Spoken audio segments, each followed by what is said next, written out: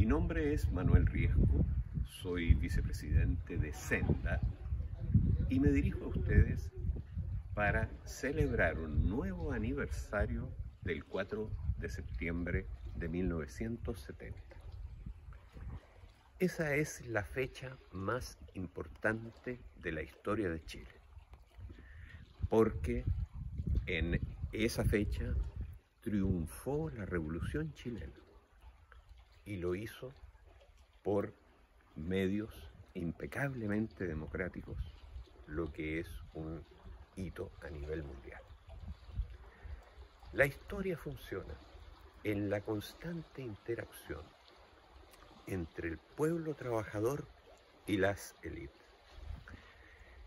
Interacción en la cual periódicamente el pueblo irrumpe en la escena política para zanjar las constantes pugnas al interior de la élite en favor de las fracciones que están dispuestas a realizar las reformas necesarias para que esa sociedad continúe en un camino de progreso y para hacerse respetar.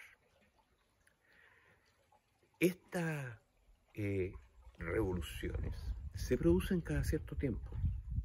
En Chile el pueblo ha irrumpido cada década en promedio a lo largo de un siglo para incidir en la escena política.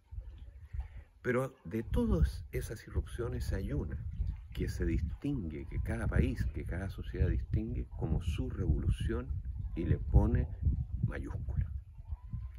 Y es aquella donde el campesinado, que es todavía, cuando se producen estas revoluciones, mayoritario en la población, irrumpe también despertando de su siesta secular y se une a los trabajadores y otras capas, a los jóvenes, a los estudiantes de las ciudades, para acabar con las viejas sociedades señoriales y abrir paso a las sociedades modernas. Eso es lo que ocurrió en Chile entre 1965 y 1973, esa irrupción masiva del pueblo. Ahora, la primera parte fue conducida por el gobierno del presidente Eduardo Frei Montalva, que prometió una revolución en libertad y en cierto sentido la hizo, cumplió con esa fase porque hizo la ley de reforma agraria, por ejemplo, que es la más importante.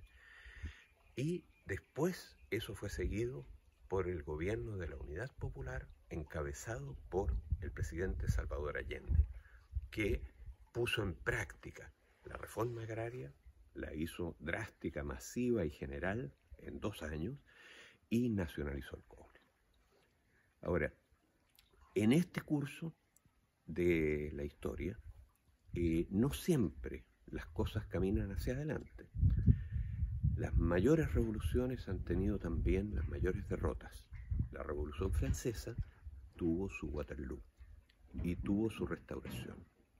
La Revolución Chilena tuvo su 11 de septiembre y la restauración de la oligarquía, de la vieja oligarquía eh, agraria, por la fuerza. Generalmente estos retrocesos son con intervención extranjera y aquí también en Chile estos sectores se aliaron con una potencia extranjera para que en el marco de la Guerra Fría lograran desviar las Fuerzas Armadas para que ellas realizaran esta contrarrevolución brutal. Pero estos retrocesos duran lo que duran. Históricamente, nada. Y pronto el pueblo irrumpe nuevamente como ha irrumpido el, 18 de octubre y antes en los años 80 para terminar con la dictadura, y ahora eh, el 18 de octubre ha irrumpido en una nueva revolución para poner fin a lo que se inició, a la restauración que se inició el 11 de septiembre de 1973.